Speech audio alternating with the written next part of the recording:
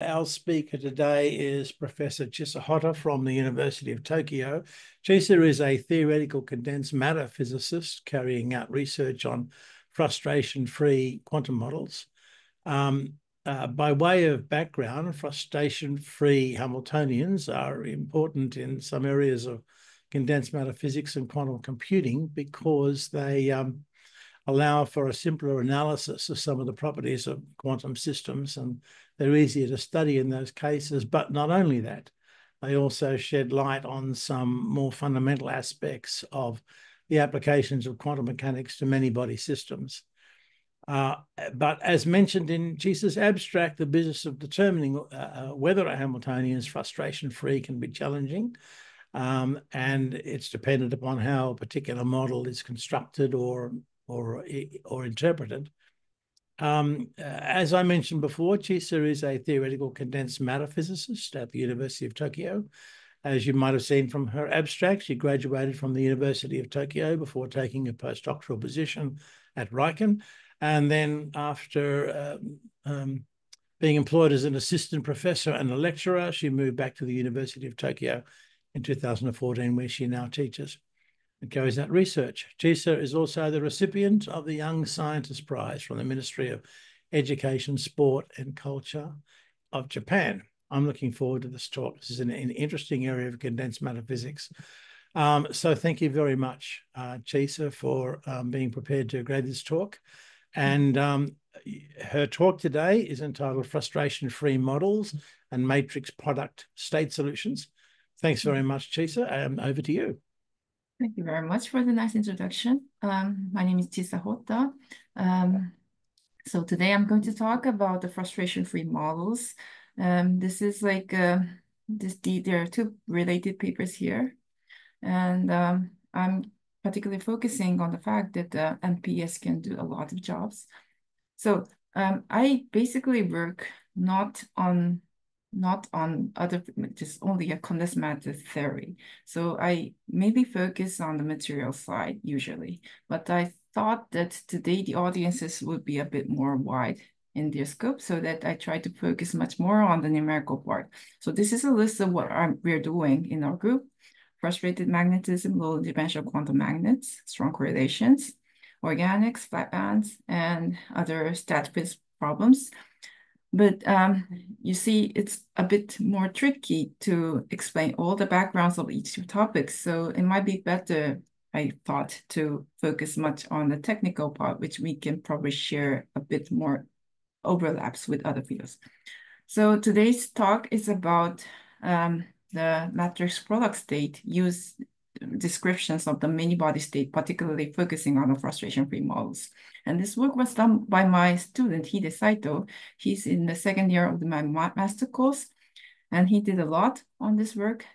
So first, I'd like to go from a scratch of what the frustration-free is, and then explain a bit more on the MPS in the basic language. And then I go to the main part, cluster projected matrix product state, and then go to further to explain why I did the job and how it works. And I finally refer a bit to the fact that the frustration-free problem is a k-QSAT problem in numerical complexity theory. So these are the outlines. Okay, let me start. So what is frustration-free? So when we call frustration, it's a situation where we have a conflict in trying to lower the energy of the system. So the simplest example is a geometrical frustration, um, which is realized, for example, in a class classical antiferromagnetic Ising model. So this is the model. We have spins pointing up or down, which can be described in the black and white dots. And then if we just place these spins on the triangle, we can first decide two of these sites to be black and white to satisfy the antiferromagnetic energy gain. Okay, and then if we try to decide the third site to be black or white, we always have a conflict in either of the remaining two, two bonds. So it means that we cannot simultaneously make all these three bonds to be lowest in energy. And indeed, if you faithfully calculate the uh, energy of this triangular unit, we can see that the lowest energy state has six different like um, degenerate states, which we call UU, up, up, down, or down, down, up. So we have two black and one white, or vice versa. And all these energy, all these states have the same energy minus J. So the situation of being frustrated means that we cannot decide the unique state. So we have a degeneracy in the ground state. Now, if we want to just construct a triangle lattice out of this triangle unit, what happens is that we have much more numbers of degeneracies in the ground state. This is known from a very old, old age. And uh, degeneracy is like very massive. This is a like a entropic density, which is remaining at the zero temperature. So then if we just try to make, formulate or evaluate how frustrated the system is, uh, we can probably adapt the idea given in 1987, which is called constraint function. So let's just prepare two quantities, the ground state energy E0 and EB, which is the sum of the lowest energy of local bonds. It means that uh, we can, we just count the lowest energies of all these bonds and then just sum it up. And if the ratio of these two energies are like one, it means that it's frustrated because um, we we are very not very not good at just making these two energies match with each other. But if it is minus one, it's gonna be unfrustrated, meaning that the sum of the lowest energies of local bonds is equal to the ground state energy. So um, in the frustration-free models, we say frustration-free frustration -free in the context that all local energy can just, the lowest energy of the local manifold can match the global lowest energy. So that we call a frustration-free. And indeed, if you just, just like play the same game for the triangle lattice, or on a triangle unit, you can say that this frustration constraint function, FC, is going to be 0.333, meaning that this like closer to frustration. So the triangle lattice Ising ferromagnet is a frustrated system in that context. But so we can then define the frustra frustration-free Hamiltonian in such a way that let's just prepare a local projective Hamiltonian HL, which is acting on the very small part of the system. And then let's just make the global Hamiltonian of system size L n as a sum of all these HLs. And then if you find a zero energy ground state of the total Hamiltonian, it means that all the local HL is zero because we have set this local projector Hamiltonian to be positive semi-definite. So this is the definition of what we call the frustration-free Hamiltonian. So if the system is frustration free, we can satisfy all the local like manifold HL to be lowest in energy altogether. So that's what we want to have for a frustration free Hamiltonian. But um, the problem is that we do not know whether HLN is frustration free or not until we really solve the problem. Because uh, what we do is that we first prepare a frustration uh, candidate of the frustration-free Hamiltonian by summing up the local projector Hamiltonian, right, in this way, which is posit positive semi-definite. But we don't know until we really get the lowest eigenvalue of this Hn until it is zero, right? So we need to anyway solve this global Hamiltonian in order to determine whether the model is frustration-free or not. But unfortunately, many of the problems which we want to focus on is a quantum many-body problem. So solving this Hamiltonian itself is not an easy task.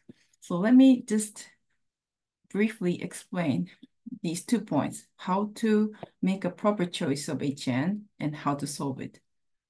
The first thing is um, how to determine the local projector HL.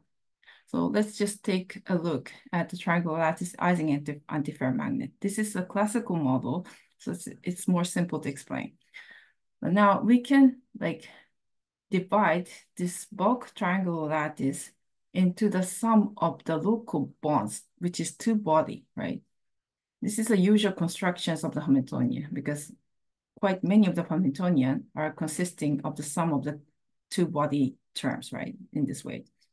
But in that case, as I mentioned earlier, the system is frustrated because all these two body terms cannot simultaneously lower the energy in order to get the lowest energy of the bulk Hamiltonian. So it is frustrated. However, if we divide this triangle in different manner, like it, it can be a unit of these small triangles, which has three bonds per unit. And then we can say that the total energy of the bulk, lowest energy of the bulk Hamiltonian can be the sum of the lowest energy of this small unit. And in that case, we can say it as frustration free. We can make another construction, not by a corner shared triangle summation, but by an edge shared triangle summation. This is also another choice, but also has a frustration-free construction. So it means that the terminology frustration or frustration-free is not clear enough until we define it.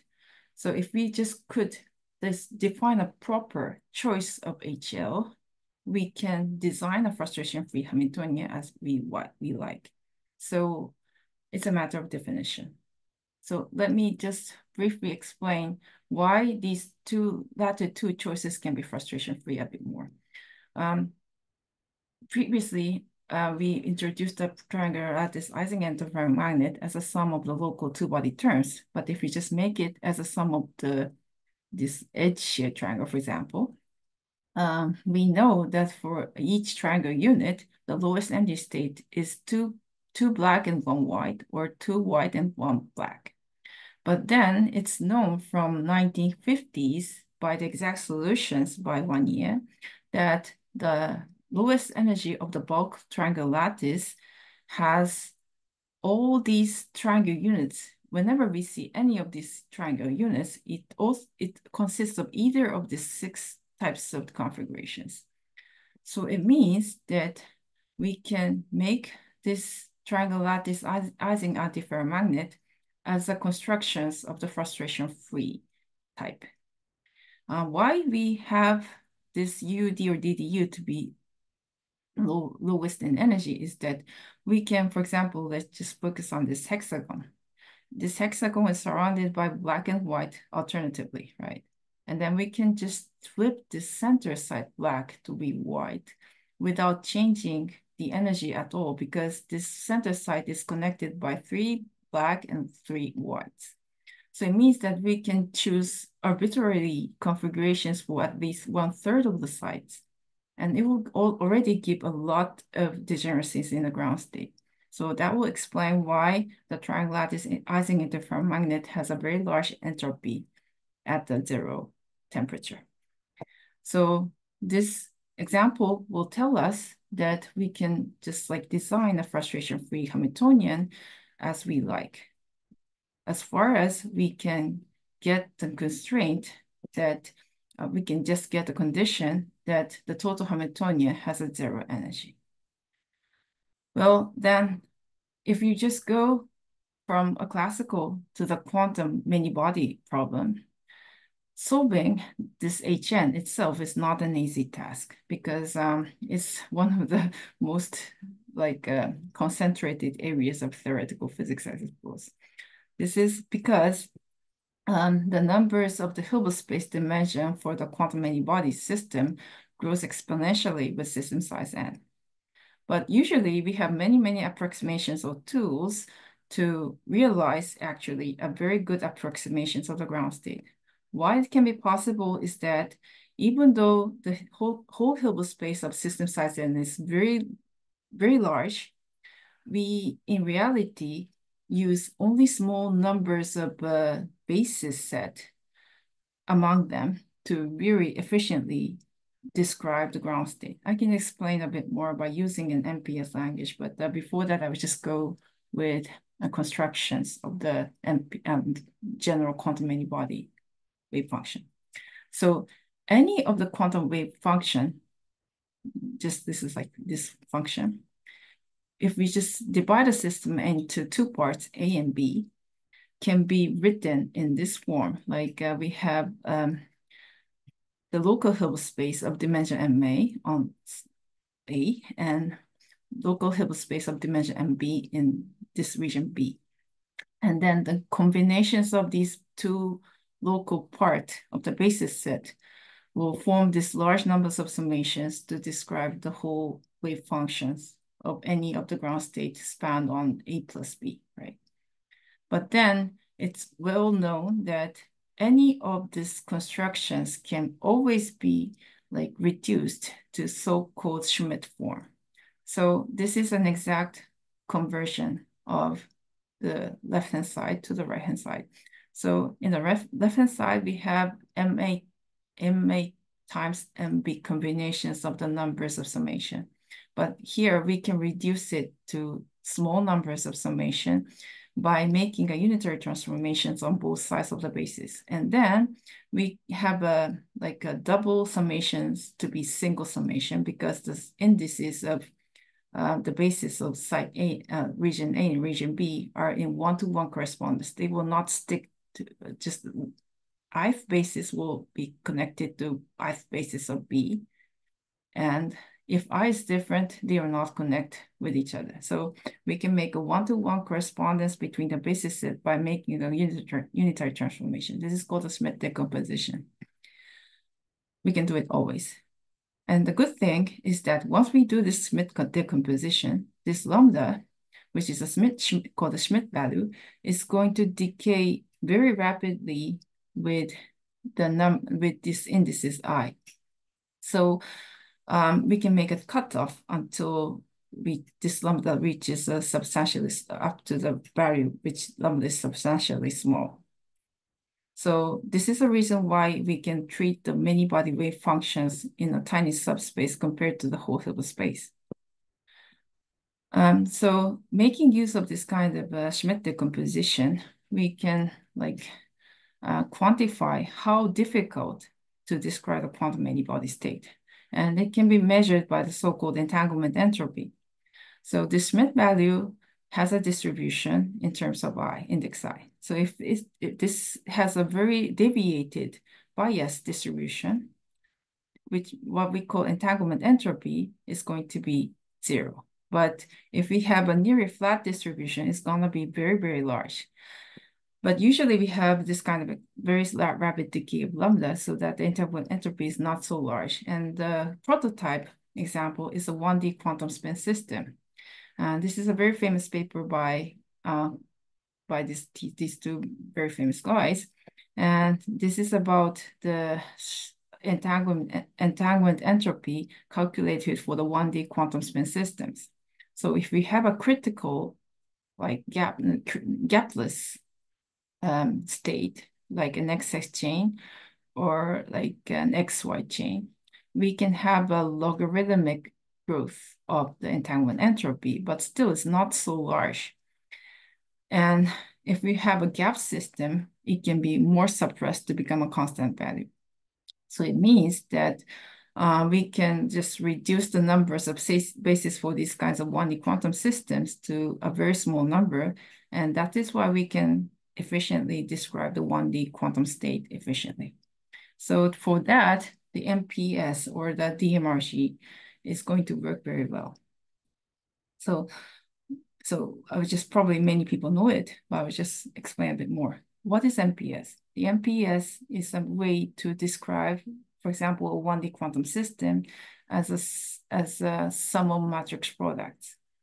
So the matrix is given as a tensor with um, two, two hands on both sides and one leg on the bottom. And this leg is the degrees of freedom that will denote the local local up and spin up and down degrees of freedom. So we if we, you have a spin one half, this uh, blue leg has a dimension two. And the left and right hand given by this red bond denotes how much numbers of numerical resources we need to describe this quantum many-body state.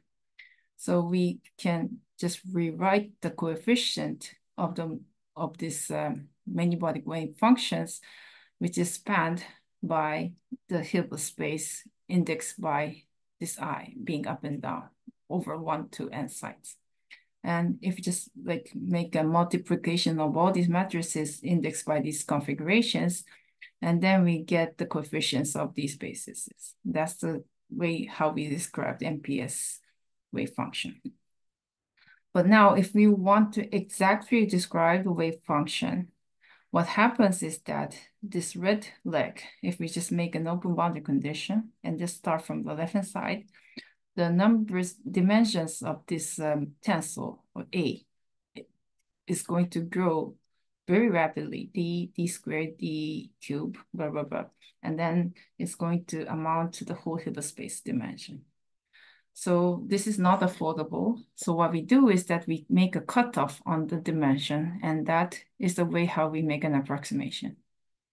But to make it very efficient, we do a so-called a canonical form transformation.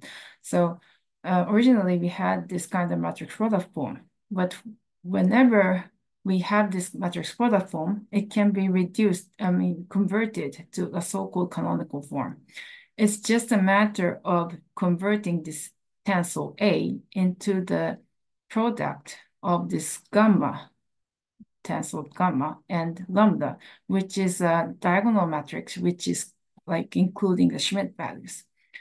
So suppose we have a canonical form, and then if we divide the system into two, two, two parts, A and B, just like we did before, and then we see that um, the when we make a division as some some m m bond which is between m and n plus one side, we have this um, lambda matrix which is um, like including the Schmidt values as a diagonal matrix.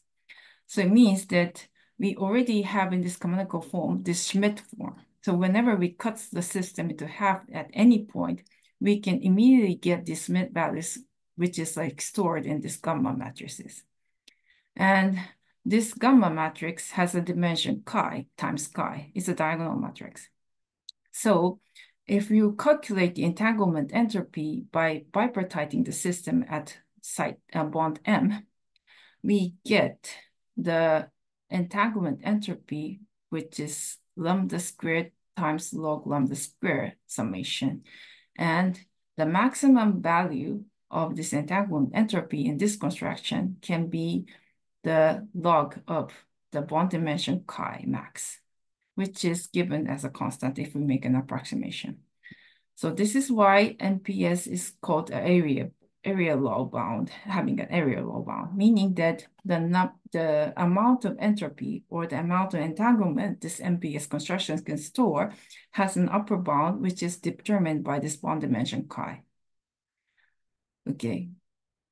So then um, with, but MPS still has a very good aspect. Once we get again, this canonical form from this uh, primitive matrix form by converting A to gamma times lambda. And then if we want to calculate the expectation value of the operator OJ on the jth side, which is a local operator, we just convert this canonical form upside down and make a trace. And this can be given in this form. But then this operator O is acting only on the J side, and then it's acting only on the gamma on the J side. So, and the other part, which is off that side, when once being like uh, taken this kind of a um, expectation value, it's gonna be a unit matrix. So it means that if we want to calculate some local expectation values, we only need to care about the matrix gamma and the lambda just on that matrix which this would operate. So the wave function, once converted to the canonical form, can be determined very locally. So that's a very good benefit of using the MPS in a many-body problem. But um, the problem is that it's considered to be good for 1D system because of the fact that it has an area law bound. And uh, but now I'm going to just show the example that it can be used much more efficiently for our construction in the later part of my talk. Okay, but um, the MPS has been very, very successful in the context of so-called density matrix renormalization group, DMRG. It was invented by White in 1992, and there are quite many people in Australian community, which is a professional of this DMRG. So um, what what DMRG do is that they divide the system into half at many um, different places and just make the bipartition place swept from left to right and right to left and left and right. And every time they optimize the left and right basis to get the optimal like uh, form of the base, basis set that should be remained to describe that state. And just, just doing this sweep many times, we can variationally optimize this um, uh, MPS form, and that will give almost exactly the ground state of the one-dimensional system, and that was a great success during the that last 30 years. Now, so um, let's finally refer in the introductory part what the frustration-free Hamiltonian is. Um, so I will just show two famous examples. One is an AKLT model. I suppose quite many of you know that um, Ian Affleck has passed away quite recently. It's a very sad thing. But anyway, this is a model which Affleck, Kennedy, Lieb, and Tasaki has developed quite long a time ago. So it's an S equals one model with um, Heisenberg term as well as an additional, by, I mean, a biquadratic term added. So it's an S equals one Hamiltonian on a single chain. But good thing is that this AKLT model is known to be an exactly solvable model. And it's a good platform of the MPS. So the trick of getting a lowest energy state of the AKLT model is that um, we can rewrite this AKLT Hamiltonian as a sum of these, um, this we cannot say rewrite, it's a, just a sum of the bonds. And this bond Hamiltonian can be written as HL, which is a local projector Hamiltonian, which I have mentioned. But this form, S dot S times S dot S squared plus the constant can be converted exactly into the form that it will project out the total spin two terms for each of the pairs of the spins on right and left side of the bonds. We have two spins forming this bond, and then the total S of these two spins, we have 0, 1, 2, right? And then we can project out P2 S equals 2 for all different choices of these bonds. And that will, okay, make this AKLT Hamiltonian, meaning that if you have S equals 0 or 1 on each of these like two pairs of spins, we can, that, that state can join the ground state. If it is 2, it can be excluded from the ground state. And indeed, the AKLT state is a state that um, can be written in this quadrant picture. So if you think of this S equals one spin as a sum of two S equals one halves, the maximum total S that can be attained per S equals one unit is gonna be zero and one. So this is a quadrant picture of how the AKLT state looks like. And once we get this projector Hamiltonian form, uh, we know that um, indeed this kind of form will be satisfied. And indeed, this AKLT Hamiltonian has a zero energy ground state. So it's a frustration-free model because it's a simultaneous zero energy state of these each bonds and of the total ground state. Okay, another trivial example is a toric code. Toric code is probably one of the most famous models. And um, this is a trivial example of the frustration-free model because um, we have the toric code as a summations of these two types of terms, A and B. A is a product of these four spins, which is on the this like cross. And B is a product of four spins on this plaquette. And we can easily calculate that this A and B are commutative. So it means that A and B can have a simultaneous eigenstate. And also we can show that A and B has both the eigenstate of plus minus, uh, eigenvalues of plus minus one.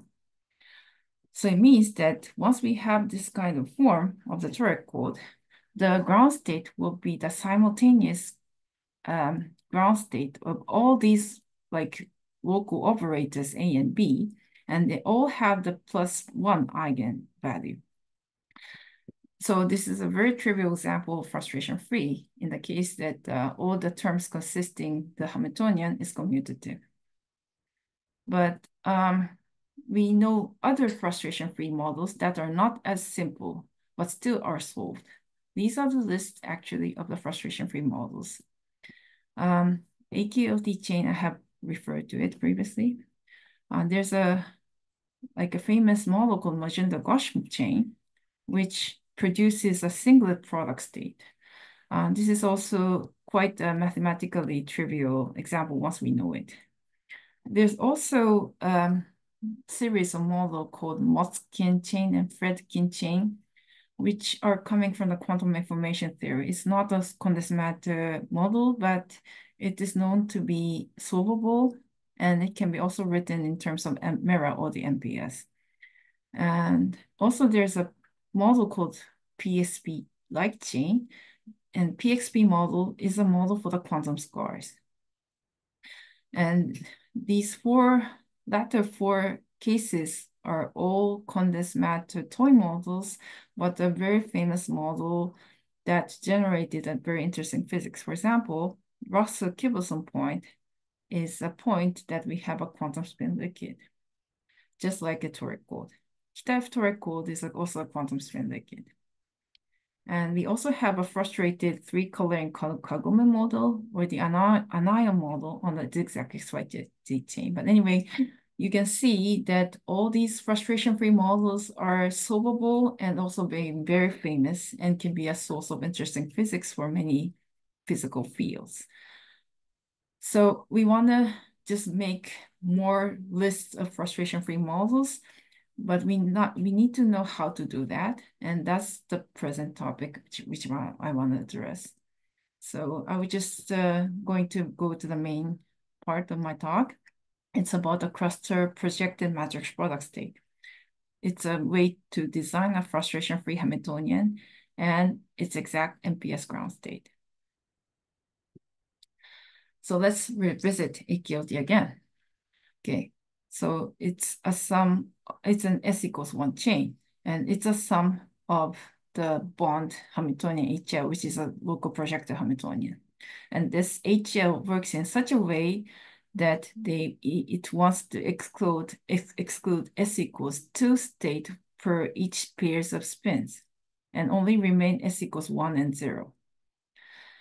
So um, then it can be written in such a way that it will project out five s equals 2 state in this way.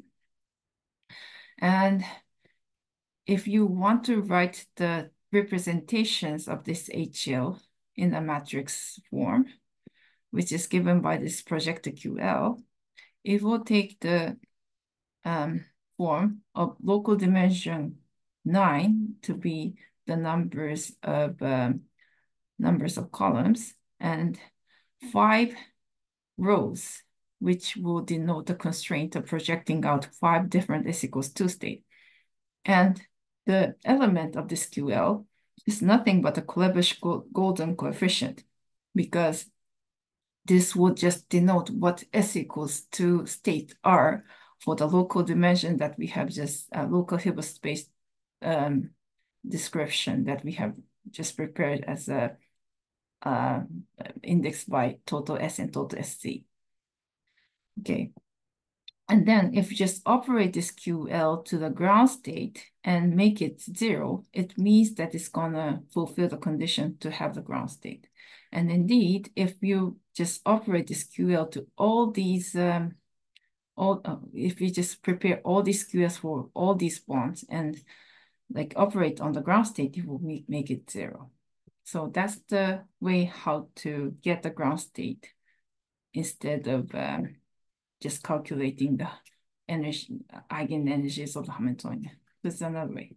And indeed, if you just try to describe again the matrix product state form, the AKLT wave function, which is very well known. Um, this is the matrix product form of the AKLT wave function given by three pieces of um, different matrix A. If um, if A is having S, Z equals zero, it's gonna be a power Z matrix. And if it is like plus and minus, it's gonna be a plus and minus meaning S equals plus and minus. It's gonna be um, the sigma plus and sigma minus operators. So we just make this projection to, to just check whether it's going to work. And then you can easily find these relationships between A, A's, different A's. And this is in one-to-one correspondence with making a projection using um operating, I mean, on the matrix Q like this. Um, just in the previous slide, I have just showed Q. And then um, putting Q onto this AKLT state means that we need to fulfill these relationships, and it is actually fulfilled. So you can just describe the ground state in such a way that this projector Q will just work to zero out the excited state. So we do the same thing for the general, more general problem. So let me just go with example of the triangular lattice because I quite favor triangular lattice. So let me just consider the triangular lattice unit. It consists of three s equals one half. So the dimensions of this local Hilbert space is two to three times eight, and two, two, time, two to three equals eight. And among the eight site, we want to divide the Hilbert space into two types, the zero energy state and the excited state. And then we can like define the local projector Hamiltonian in such a way that the excited state has a non-zero energy. But the zero energy state has a zero energy, so it does not come out in this projector Hamiltonian. There's a kind of penalty Hamiltonian to the excited state. Okay. And then let's just combine this HL to make a bulk lattice. For example, we can construct an edge shared um, triangular chain, which is going to form a zigzag chain. And then we can define this form of HN as a summation of this HL. This is just a form, like we just can like propose this kind of form. And then we can get an explicit form of HN. And then we need to judge whether this Hn has the zero energy ground state. And if it yes, we can say that this Hamiltonian is frustration free. But whether we have zero for this Hamiltonian is can be just described in this way. So the ground state can be Schmidt decomposed into this green triangle and other part like this. And then if we only have uh, this composition as having a non-zero Schmidt values for these green guys, it means that this condition is satisfied. So we want to have this kind of state. But you can say that this ground state is highly entangled between different triangles, so it's not simple enough. So how do we do it? So what we think is first, to construct the whole Hilbert space of dimension d to n. If d is 2, it's going to be 2 to n. Okay, but not, right now we have 8. So 8 to n is going to be our, like, uh, no, it's a 2 to n, I'm sorry, 2 to n. Okay, and then um, let's just try to keep this L triangle to have the zero energy state and don't care about other triangles. And then we can define a subspace out of the whole Hilbert space that this green triangle has the zero energy state and other part has the full Hilbert space to be kept. But then we can also construct another Hilbert space as a cup of these local VLs, meaning that if we make a cup of all these L's for all these triangles, it will exclude all the non-zero and eigen all, all the non-zero excited blue states for all these triangles. And if the dimensions of this uh, newly created um, newly created subspace, which is a cup of all these VLs, is non-zero, it means there's a there's a kind of a space remaining to get the exact ground state for the over the whole triangles. So the dimensions of this cupped VL Hilbert space is going to give us a ground state degeneracy. So then let's do it more practically. So we know already that we can prepare a projector for a single triangle like this. It's uh, it takes a form of the local dimension times the numbers of constraints, numbers of excited states.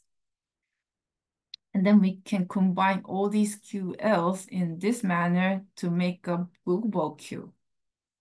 It has a very large dimension. The, the I mean, the numbers of like, um, numbers of columns is a total Hilbert space dimension, and the numbers of rows is very large also.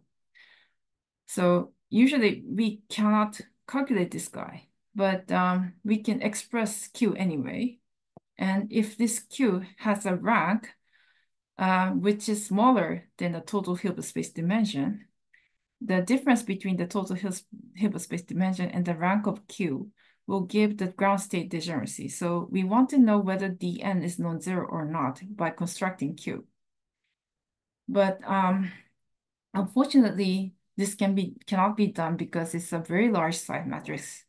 So what we do is that we make use of the locality of the MPS wave function. So let's try to make um, MPS in this kind of construction. So we first try to construct an MPS from the left-hand side by the open boundary condition. We just add three different sites one by one. And up to three, we keep all the Hilbert space dimensions as it is.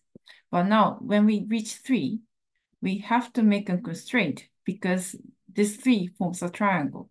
So we want to project out five states out of, uh, four, I mean, several, I mean, not five, maybe any part of the states, excited states up to some, I mean, at this three, three site unit. So we just operate this projector. And then we operate this projector and determine this pink guy, right? Then and again, we increase one more site. The one more site will share the triangle with the two successive sites before. So we need to operate another projector these three to these three guys, which is newly created, including newly created pink guy. And with this projector, uh, we can determine the element of this newly added pink guy. We do it successively until we reach the system size that we want. And every time we increase, and if that increased site belongs to that projector uh, local unit, we need to make it uh, determine that pink site to make to, to determine their matrix element like this. And when we reach the system size that we want, we finally end up with this large matrix form, which will form an isometry, meaning that this Dn, which is the left-hand side one dimensions of the final matrix, is going to give us the numbers of degeneracies of the ground state. And because we have Dn degenerate ground state in the MPS form, which is sharing the n minus one different MPS on the left-hand side, we can divide each of them into small parts of wave function independently and get the wave function. So that that is that is how we get the MPS um, exact ground state. Here we are not sacrificing anything. We're just adding one by one the matrix and determining this element by locally projecting out the part of the Hilbert space. But here we are making full use of the fact that the MPS is local. So we only have to take care of this local pink guy to get the exact ground state one by one. So that's the way how we get it. So this is one of the examples of um, how to make a projector. This is called the, the, the Lesanovsky model. Um, it's a model for quantum scars. It looks quite complicated, but we can rewrite this model as a sum of a local Hamiltonian like this. And this Hamiltonian can be written in this projector form, which is acting on three different adjacent sites of the spin one half. So what we do is that we iteratively project out this like uh, project the Hamiltonian guy to construct the whole like ground state. And that can be done in a very efficient manner in a very small numerical cost. Okay, so why, I will just explain why, why we came to this like topic, although we are starting from the condensed matter theory. So um, recently we have just uh, examined the model called um, X spin one half zigzag chain. So this is a Hamiltonian which we were studying previously. So it is a summation of the Heisenberg term plus the anisotropic spin exchange term. So it's going to mix the x and y components of the spins. So it's not SU2, but uh, it's, anyway, it's a quantum mechanical model, which is spanned on this zigzag chain.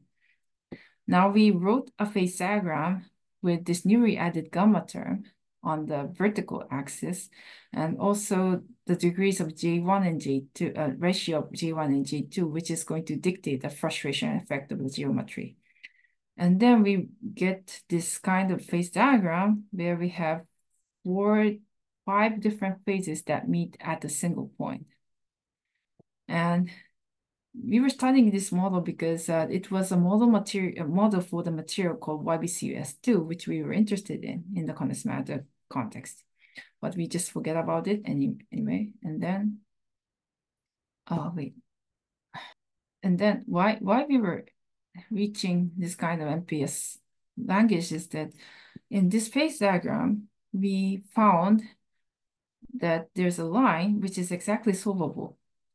And this um, multi-critical point, point lies exactly on this exactly solvable line. And this exactly solvable line lies at the place where J2 over J1 equals exactly to oh, 0 0.5, uh, 0 0.5, meaning that we have uh, like twice as large zigzag interactions compared to the leg interactions. So it means that along this line, this zigzag chain model can be divided into the sum of these triangular units. And if we did a numerical simulation, we exactly find that the ground state of the total Hamiltonian is the n times the numbers of the local lowest energy Hamiltonian like this. So it means that this line is a frustration-free point. And the motivation of like constructing our theory was to solve this kind of exact solution on a phase diagram. And indeed, we did that for the this present model. And this is a result of the MPS construction. This is an exact MPS and it's a bond dimension which is growing rapidly towards the system center. And then just go down again. And it's a place where we bipartite the system. So, and then we can get the entanglement entropy as such that is going to be like this. It is still feasible for the MPS language without sacrificing any of the, like, uh, we, we did not reduce any information, but it's an exact MPS, but still we have this kind of profile. And if we do the calculations on this zigzag chain for DMRG, we get smaller numbers of um, entanglement entropy because DMRG is always choosing the lowest minimally entangled state. But our MPS is like taking care of the full ground state, set of ground state, which is degenerate. So this is a reference difference between the exact MPS and the approximate DMRG solutions. Okay, then what else can we do? So we can design a frustration-free model across different models and can obtain a topological order state and also calculate 2D models. I just rush very rapidly. So um, one thing we can do is that we have just talked about triangles, but we can parameterize the basis that we want to um, exclude as a penalty term. Here we exclude two terms out of eight bases, but then these two terms can be tuned by this, this green coefficients alpha and beta. And by varying this alpha and beta, we can get the solution diagrams. And the solution diagrams all, all, all over has an exact ground state for this construction. And varying this alpha and beta will vary the shape of the total Hamiltonian constructed from the penalty Hamiltonian. So we can like connect different solutions between different types of models or from the parameters. So indeed, um, that green parameterization will connect, I mean, I had just shown, okay, I have shown A, B, C, D, E, F points along these diagrams, which is included in this parameterization, all have the exact solution. But then if you just look at the previous man, um, previous literatures, we find that these A, B, C, D, E points appear as a multi-critical point in different types of phase diagrams from different, slightly different models. So we can say that different exact solutions appearing in different models or phase diagrams can be connected in our like constructions. This is one thing.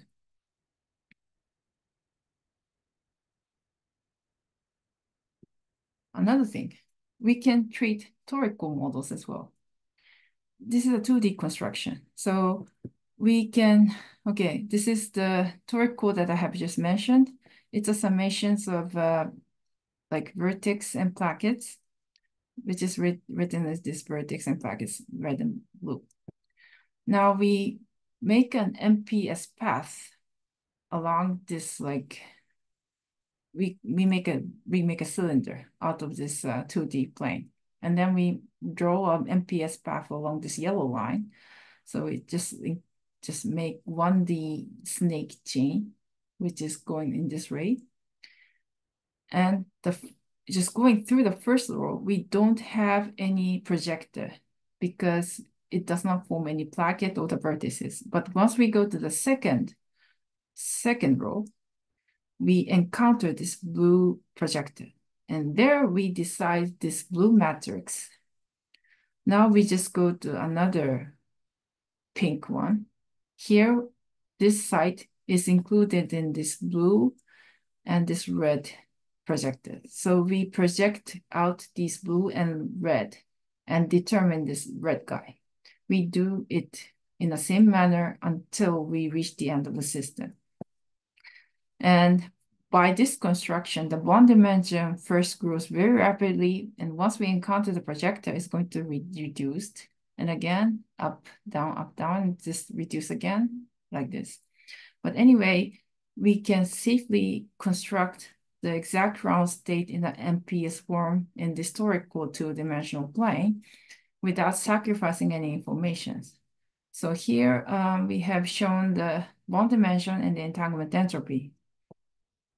Now um, we can also calculate for the historical model a topological entanglement entropy. Now the topological ground state is no topologically ordered ground state is known to have a so-called topological sectors. Um, it's just, I mean, I've just probably go to one more slide. So we can just define a loop operator. And this loop operator is going to give us a, a plus and minus eigenvalues, which is running in a horizontal and vertical direction, which if we form torus. So we just form a torus and cut the torus on along this line or along this line, and that will form a loop operator. And this loop operator has an eigenvalue of plus or minus so that we have four different sectors which are independent. And these four sectors have completely separate Hilbert space they don't talk to each other quantum mechanically. So we can have four degenerate ground state, which are totally the same in their ground state. So we have four for degeneracy. But now for all these sectors, we can exactly evaluate the entanglement entropy by cutting the torus into half. And then we can do the size scaling for the entanglement entropy and get the constant term, which is, you see, can see that it's gonna be like minus log n.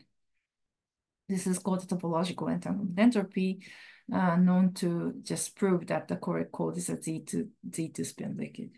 So our construction is giving us a independently the topological sector very accurately. And we can also like describe the excited state for all these topological sectors independently as well. We can also do it for other 2D models. This is a triangle lattice construction. This is Kagome, ladder, and squares.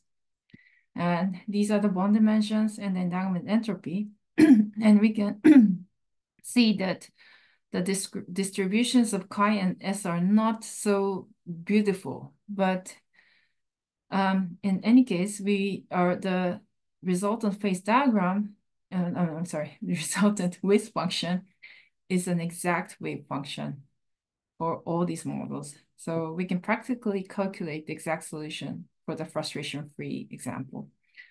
But um, just that frustration-free is not a simple problem. I just mentioned for maybe there should be a quantum information guy here included. So I'll just make a connection with the QC, k-QSAT problem finally. So I have just talked about how to construct um, MPS ground state by designing the frustration-free Hamiltonian candidate and to confirm that it's frustration-free. But I have mentioned that we don't know whether HN is frustration-free or not until we really saw the model. So this is one of the categories of something called QK-SAT. It's a question of whether the Hamiltonian is frustration-free or not. And if it is yes, we can, of course, try to find an actual ground state wave function, which we did by our construction. And this k-QSAT is called quantum satisfaction problem, which is a QMA1 complete. It's an analog of NP complete, meaning that um, by the classical computer, we cannot solve it within a polynomial time. So it's a very difficult, generally a very difficult problem to solve. Then uh, how can we pin it down to the KSAT? So this is a classical case. So for the, for the, for example, two-body Ising model, we have like n spins which is denoted by n logical variables, Boolean variables, which will give for upspin, yes, and downspin, no. Okay, this true and false, I'm saying true and false. And then we can define M constraints on the variables, which is acting on K independent variables. So M constraint, for example, this, this two-body term, the two body term will like act on two spins. So it's k equals two. If we have a three body term, it's going to act on three spins. It's going to be k equals three. But for the k body term, we can, for example, antiferromagnetic Ising model can be described in this logical term like such that we don't want up, up, or down, down. So up, up, and down, down can be excluded as kind of constraint per bond. So we can define for each penalty term this kind of uh, conditions that will form m different conditions throughout the system. So this is called a KSAT problem. So even the classical KSAT problem is considered to be very difficult once we go to k equals 3. And this is actually the um, work that tried to check numerically how satisfied or unsatisfied this KSAT problem is in general by using a random numerical simulation.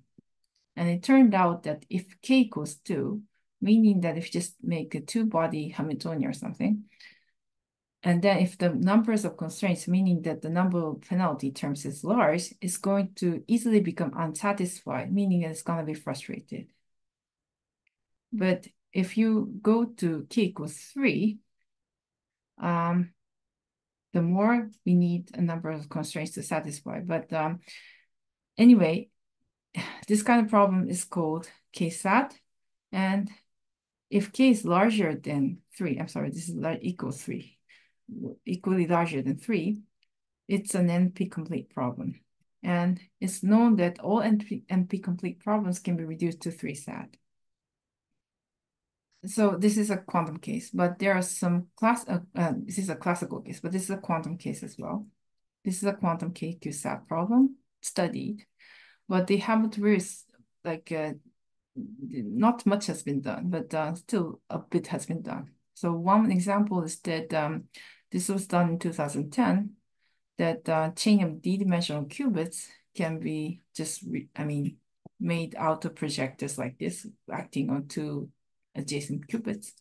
And then they showed exactly the range of solutions that they could just satisfy. So this gray region is somewhere we don't find a frustration-free solution.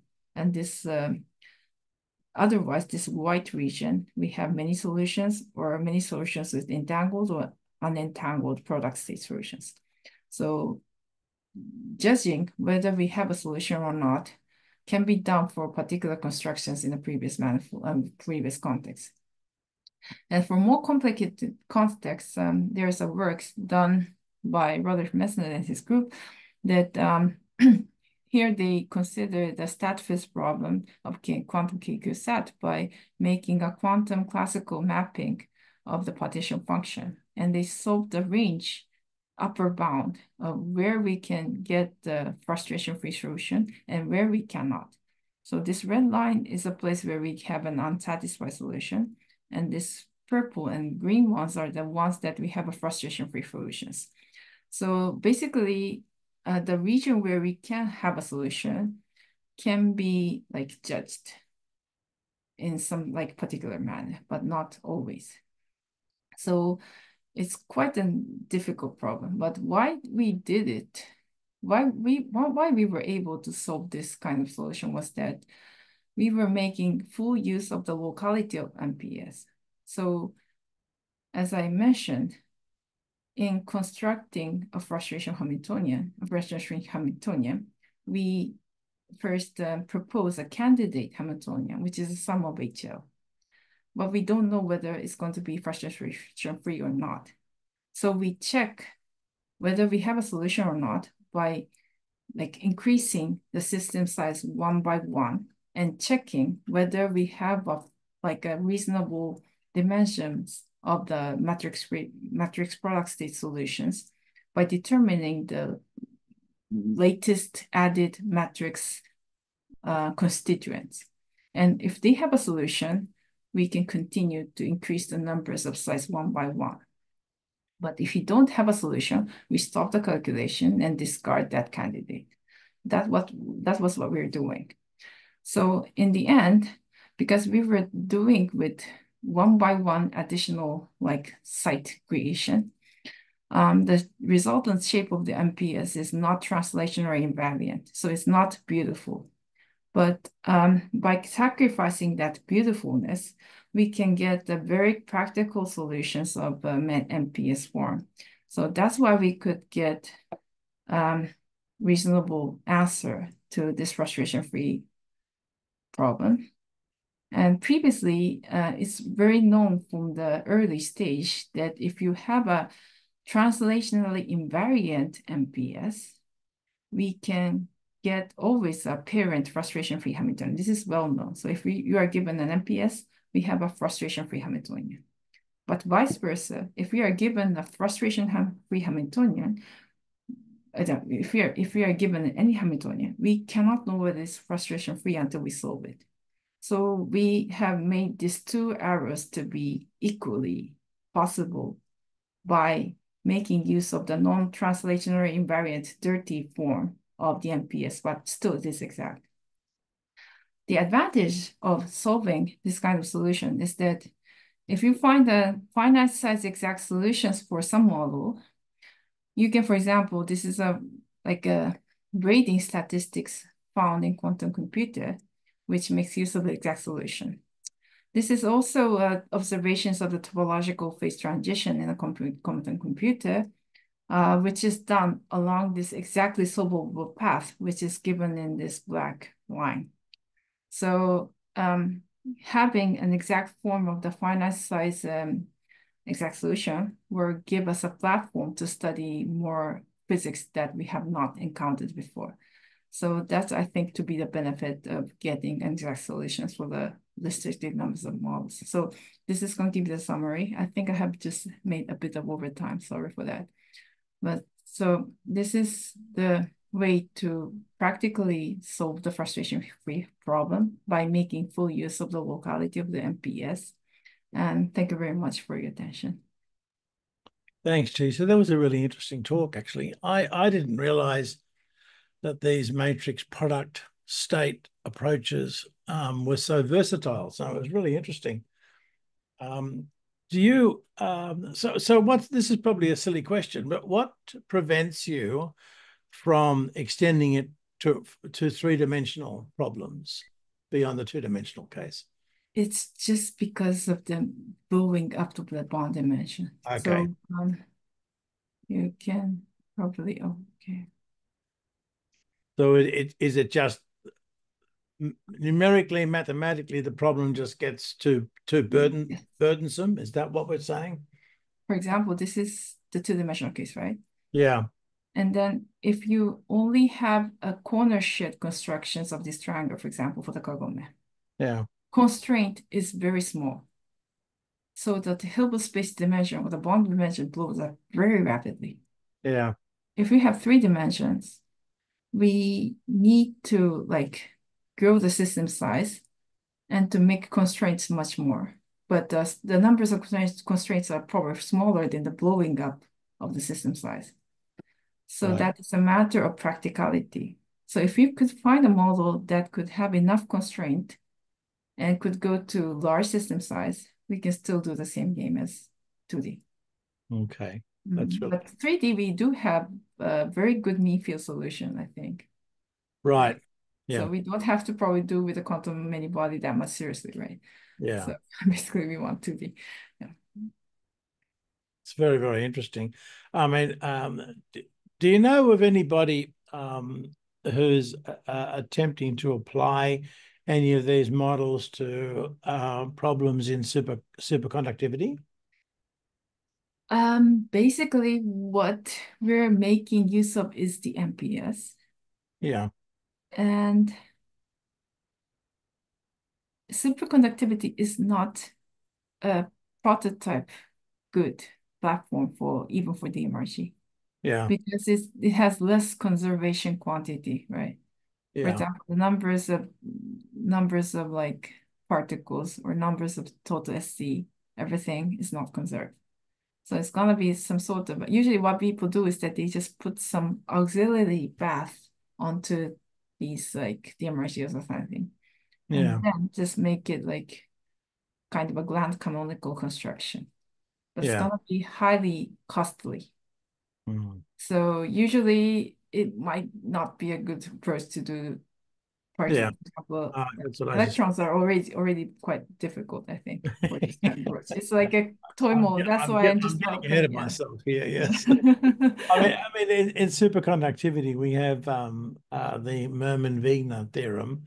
Yeah. Uh, which you know, uh, for people who don't know, is a is a statement that in a two dimensional system at finite temperature, yes. it's not possible for a continuous symmetry to uh, to be right. broken in two dimensions, which seems to imply that, which seems to forbid no, no true long range superconducting state in a two dimensional exactly. system. Yes. But in experimentally, we know that uh, there are two dimensional systems that exhibit some superconductivity. Uh, for example, in high temperature superconductivity in the cuprates, where we have these copper oxygen planes, and they're weak, they're relatively weakly coupled between adjacent yeah, planes. Yeah. So we have this mm-hmm. semi two dimensional uh, um, plane. And uh, it, it's but the explanation there, uh, the belief there is that we've got a quasi uh, long range um, order, uh, yeah. which is often related to topological phase coherence. Mm-hmm. I see. So I was wondering whether that, uh, but from what you've said, maybe not, uh, would be susceptible to a frustration-free Hamiltonian or a step further to your matrix approach. But it sounds like it might be um, pretty difficult. In my like very intuitively, I would say that um, okay, so frustration free is a particularly local local Yeah. system, Yeah. right? Yeah. And superconductivity is having a global phase, Yes. That's and that's quite right. in that context, it might be a bit like off from what we're doing in that Yeah. context because um of course topologies are always like attracting people and one I mean one criticism on what we were first doing this method was that the we probably cannot access the topological order or topological long range thing. Yeah. Yeah. Then we did a toric code to show it practically it's possible. Mm. But it's possible only because we have a finite size. Right. Yeah. Okay. Yeah. It's a matter of a kind of practicality. But this is a really toy toy model, right? Toy model already has a kind of confirmations on what we're doing. Yeah. So in that context, we can probably play around. So it's more or less closer to what we're doing with quantum magnetism or with computer simulations or quantum simulators or cold atoms. Yeah. That is cool. a more fitable like platform for our case, I think. It's it's still surprisingly um general. That's that's that's what it Mm. me. I to make it general. So in reality, we're trying to go beyond frustration free. Yeah. Um, uh, the, in the Q and A, uh, there's a question from DC Yeah. Lewis saying, "What's the relationship between chi sub n and n in one and two dimensional systems?" Again, please. Um, Um, you can probably in the I can um, just share, see the chat, right? yeah, you can probably see the uh, Um, Q and A panel. But for the benefit of people that might be looking at the YouTube, uh, what's the relationship between chi sub n and n in one and two dimensional systems? She asked. Chi, Chi, Chi, sub n. Okay, okay. So um, it really depends. Uh, wait. It really depends on what kind of system we approach. So, uh, for example, this is a famous 1D 1D system with entanglement entropy of maximally log n or constant. In that case, it's very super easy because um, we know that the chi is not going to blow up that right rapidly. But for 2D, there are several cases. So 1D, we have gapped or gapless. And for gapped, it's going to be constant. Chi is constant, right? For gapless, it's going to have log n, right? And for 2D, we don't know until we do it. So for example, this case, Kagome, it's going to increase exponentially, chi. This is going because the entanglement entropy is following a law. For, for example, for square lattice, by accident, we know that it's very constant, chi is constant, because the entanglement entropy is like almost like an area law. We have an upper bound. So it's not only a matter of dimension, but a matter of whether the system has how much the entanglement the system needs to store in the wave function. So if it is a highly entangled state, which the entanglement will blow up very rapidly with the subsystem size, we have to prepare a large chi so that the system size we can reach is restricted to a small size. For example, this Kagome, we can only do with like 20 or something, which is not so different from the exact diagonalization. It's not good.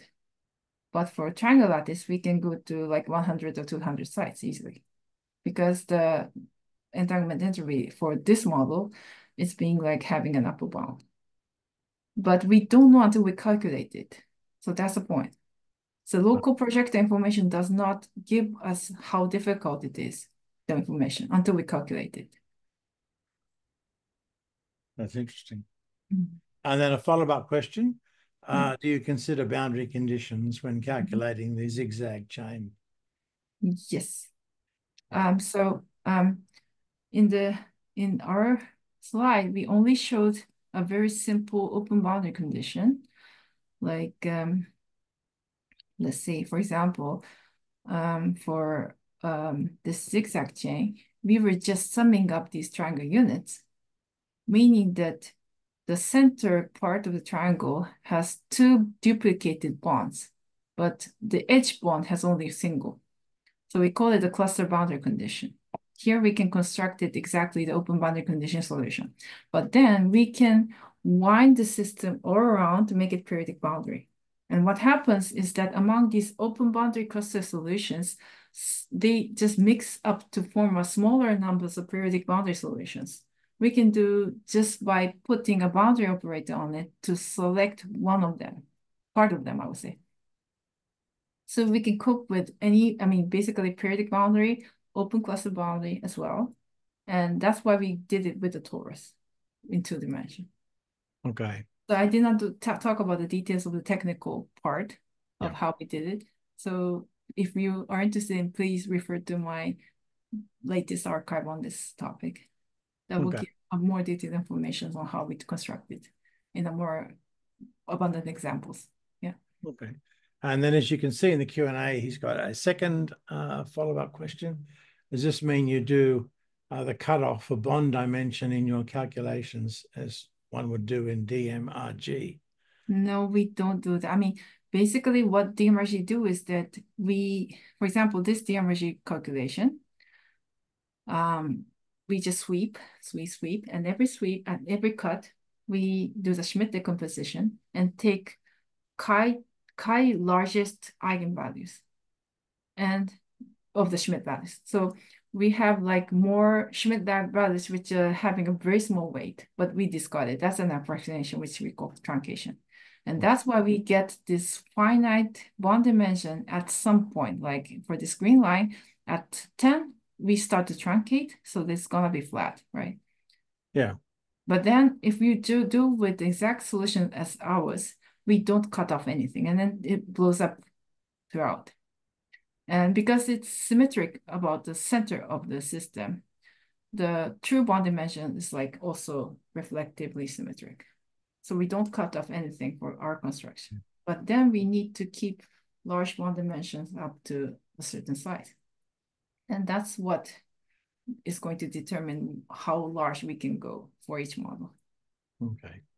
Well, thanks, Chisa. That's really good. I think we should probably wrap it up there. Um, thank you very much for a great talk. Thank you very much. Yes. Yeah.